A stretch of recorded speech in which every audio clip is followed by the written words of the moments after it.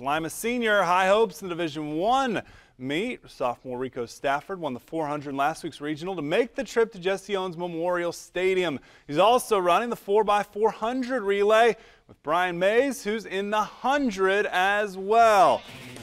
Start off the girls 100 meter hurdles. Celina's Becca Carr in long jump tomorrow finishes eighth in her heat here, 15.62, so she'll get one more chance in the field. Next up, the boys 100 meter dash. Brian Mays of Lima Senior runs in 10.95, but that's eighth. What a field.